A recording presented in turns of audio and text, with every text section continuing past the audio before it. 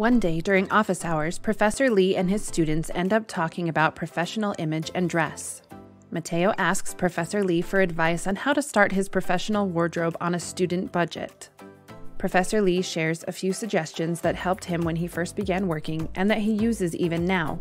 First, he suggests learning how a capsule wardrobe works and how to pair different pieces together to maximize their wearability.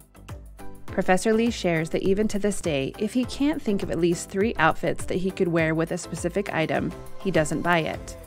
Next, he recommends having a good understanding of brands and fabrics that will last. Professor Lee shares that he has had several instances where he tried a new brand or just bought what was available and it wore out after a few months. After that, he spent time looking for quality pieces at sales and in secondhand stores, and he has several pieces that have lasted him almost 10 years.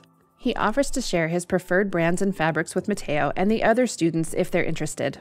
Professor Lee suggests that Mateo start by looking up examples of professional capsule wardrobes and find one he likes and see if he has any pieces already that would work.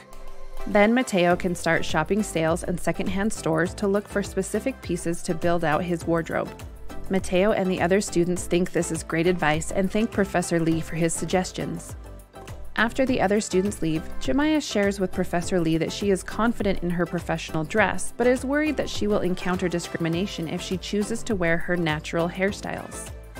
Professor Lee tells Jamiyah that while he has obviously not experienced the same racism against hairstyles, he remembers when he was younger there was some pressure for him to adopt a more American sounding first name. He had to decide if he was willing to deal with people mispronouncing his name or treating him differently in order to stay true to himself. Even though the details of the discrimination are different, she will also have to consider her options and decide which path she will take. Professor Lee suggests that Jamiyah find a way to ask a few black women who are currently working in the legal field what their experiences have been in regard to their hair. Because of the Crown Act and other legislation, it does look like things are getting better, but it doesn't hurt to be both optimistic and realistic. Professor Lee offers to help Jamiyah find either a student group or some colleagues online that she can reach out to. Jamiyah is grateful for Professor Lee's advice and looks forward to learning about other black women's lived experiences and how they navigate the professional world while being true to themselves.